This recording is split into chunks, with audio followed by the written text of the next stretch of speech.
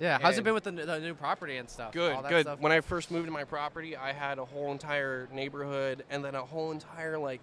So all these neighbors were upset. They didn't know what was going on. yeah, I was they, hearing about that. Yeah. They're spreading all kinds of rumors because they didn't. They didn't know what was going on. They Yeah, got a yeah, little bit yeah. of information and then created a narrative for the rest with their imagination. Yeah, And it turned into like this guy's gonna do a big theme park. It's gonna be like a circus. Dude, He's no gonna have knows. grizzly No one bears. knows stuff. I mean, I didn't plan to get grizzly bears. So I could technically get It's like, I can get grizzly bears? I, like I Mm. could get a Mm. tiger permit, but no. the whole goal is a private wildlife park for private tours and breeding endangered dude. species, and also raising money for those endangered species in the wild. So Right, right, right. If I'm not able to breed something that's endangered and I has it as an educational ambassador, There you then, go. then if it's just an educational ambassador and it doesn't breed for me, then I use that to raise awareness and money for the species. For that so like species, king exactly. cobras, uh, Yep. all the conservation groups in India, throughout Southeast Asia, the Yep. Philippines, trying to get more attention and awareness on them, Yeah. so they can continue to do their job. Yeah. Because there's like countries, not a lot of people know about this because we obviously we're here in America, we don't hear about everything. Mm. Yeah. But like in uh, certain parts of Southeast Asia, the government in certain municipalities or whatever, they'll make announcements and say, Yeah. "Bring a king cobra to us, dead or alive, and we'll pay you." Yeah. So then that encourages the local people to start killing these king cobras. Bummer. So the whole goal is to get everyone Damn, to love these animals, Right, And also try to raise raise enough funding to allow the people who who for it's really hard for them to be able to get the right Yeah. tools and to get the gas to go to places to relocate animals, Yeah, to do all dude. this outreach and whatnot. Yeah. Those people need funding. So obviously, I, I directly would like to just send them that. Money. And you know what, dude? I, like we're at the Daytona Breeders' Expo, and there's thousands of people easily walk through those doors. You know, and if any of them, if any of their ticket prices, if any of the animal prices that they bought, if a fraction of that went to conservation, Oh, imagine, dude, imagine. that'd be crazy. That'd be crazy. I honestly think that that's how it should be. It you should be that, yeah. Like, like, yeah, it's it's great. We have people like fighting for our rights to sell reptiles and whatnot. But Mm-hmm. at the end of the day, the goal for every single person who keeps wildlife in captivity should be conservation education. Yeah. So I don't. I think it should. You know, in, in a sense, let's let's back up for a second. This show does contribute to conservation, and the reason it does that is because for you to be able to be at this show right now Right. and to sell reptiles, you must have a Class Three sales permit. Right, and that money goes to and the that goes to the FWC, from the FWC. and that's Florida Fish and Wildlife Conservation Commission. Right. So in a way, we all end up donating, but I think we could do more. We can Exactly. No, dude, especially because sure. most of this stuff is exotic. Why don't we try to help some of these species that are endangered that we have Exactly. in large yeah. numbers in captivity? As- Okay, exactly. we're gonna breed and that them. make Why don't We a- ticks out here. Yeah. Yeah. Well, not here in Florida, well, but some of these species of lizards that are only found on certain islands and they're endemic species, why not raise money for the conservation groups where they come from? If you're going to be selling like things like uh, cyclura that are endangered and whatnot, take a percentage of your cyclura money Yeah. and give it to conservation. do you in think the that Bahamas. it's the keeper's responsibility, or do you think it's the breeder's responsibility, or is it both? It's everyone's responsibility. Everyone's responsibility. Because if you, ha- no matter what you do, no matter how many animals you have, if you breed them, if you use them for this or that, at the end of the day, if you have these animals, they're not just a showpiece for you. They should be Right. an educational ambassador. Even if you don't work at a zoo and you Yeah. got a snake in your house and you have family come over and your Yeah, cousin's yeah, like. "Ugh, snake," you convince your your cousin that this snake wants nothing to Exactly, do with dude. you, and it's actually a harmless animal. Exactly. And so everyone can be a a, a wildlife warrior, like Yeah. would say, Yeah, and everyone can make a difference. So everyone who owns these animals, everyone that associates with reptiles or nature or anything like that, that should be their job to educate everyone around them and change right. opinions. Right. I want to ask um, So- something else. Um, with your channel, obviously, you have a lot of like people that are about. Um, you have a lot of like kids as Yeah. part of your. your Yeah, yeah. There's a lot of kids. I get, dude. Honestly, every age. Like when I come to a show or like when I'm out working out at the gym or something. Like every People every every age like, comes up to me. Like, yeah, yeah. Like I'll think it's a kid. I'm like, hey kid, and then the dad will be like, I'm a big fan. I'm Yeah. like, oh, Oh, oh, hey, what's nice up, to meet, nice Yeah, to meet you. yeah, Yeah. Um, so it's all ages. I remember at one point I wanted to ask this personally. Um, you there was a point where you at the beginning of your channel, I guess I'd I'd listen, watch a couple of videos every now and then. At the beginning, uh, you would free handle and would do stuff like that, and Yeah. then there was a point in the middle where you you were like, oh, I'm gonna stop doing this. Yeah. So and then what now we're back. What had happened was uh, this. This is actually some behind the scenes stuff. Nobody actually knew the real reason I stopped doing that. Okay. It was no close call. It was no suddenly I believe everything I'm doing is wrong. No, I've always believed in what I do. Right. You know, you never. No one should ever replicate what I do.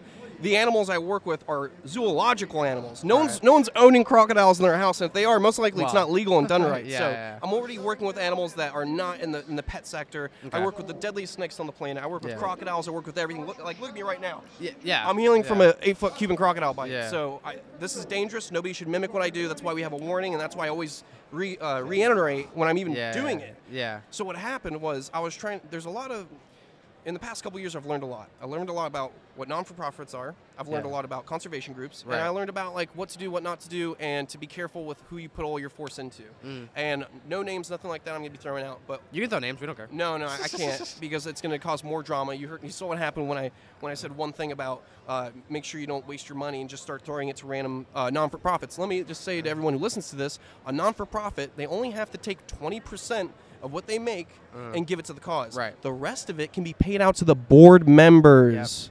The Yep. people that are always there and they get they get paid as employees. So Yeah. Facts. I'm not going to get too much No, into it's that. true. But what happened with the free handling thing Mm-hmm. was I was basically this was really screwed up. I was basically being told if I want to be a part of these conservation groups, I'm not going to name the names.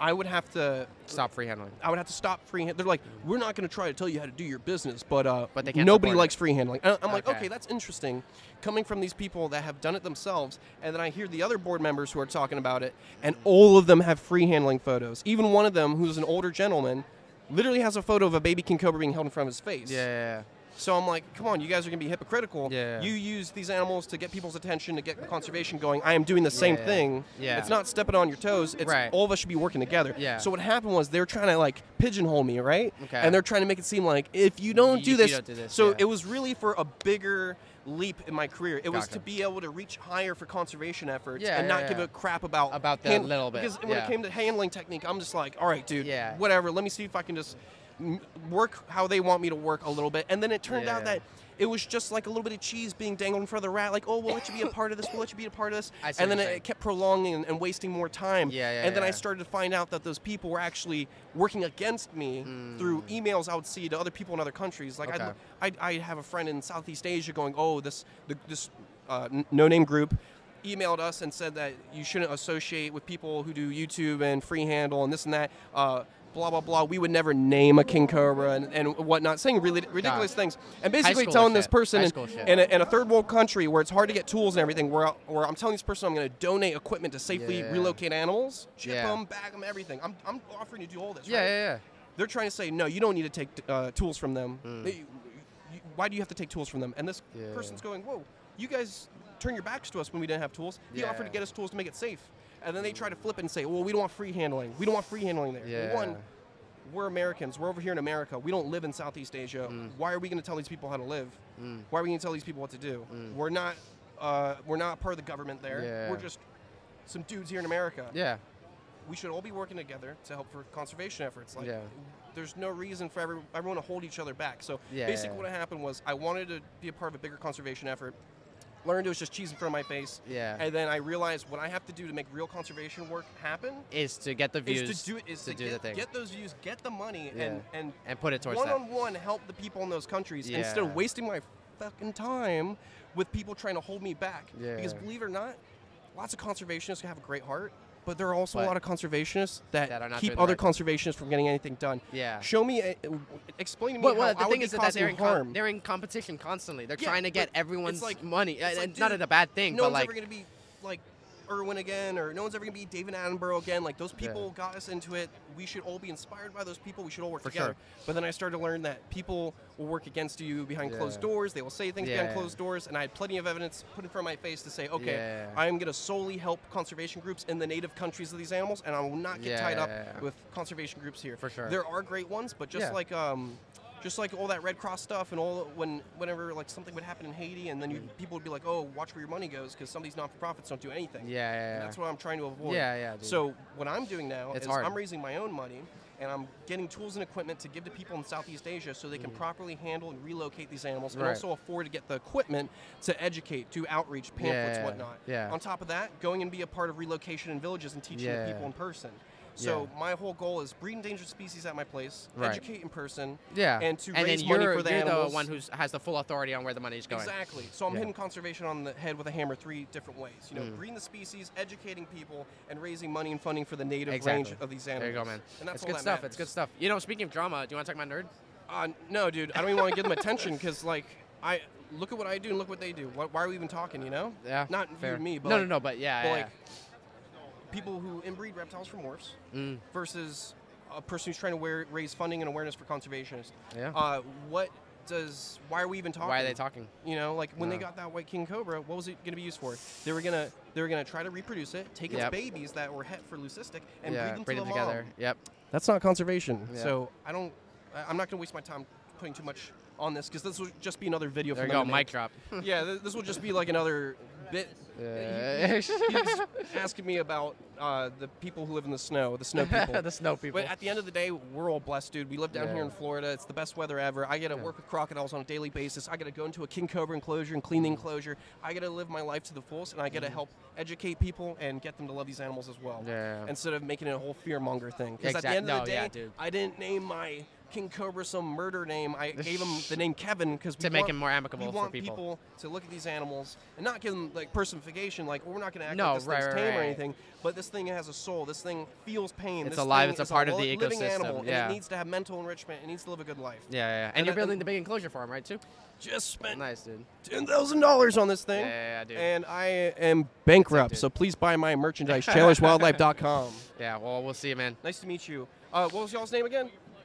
Uh, yeah, just check me out. Check me out on uh, YouTube, Chandler's Wildlife, for the main content. Check me out on Patreon to support a little bit extra. You can just donate a couple bucks and get exclusive content. And also, if you buy T-shirts and stickers, that helps with the cause of building out my facility, and also helps fund projects for, like, example, buying tools for people in other countries to safely Yeah. relocate venomous snakes. For sure, dude. So conservation through and through. Yeah. Reptiles are the best. You guys are the Anytime. best. Yeah. Thanks for letting me be Enjoy, on. man. Thank you so much for watching. For the full episode of this Reptiles with podcast live at the Daytona Beach National Reptile Breeders Expo, click the link down in the bio.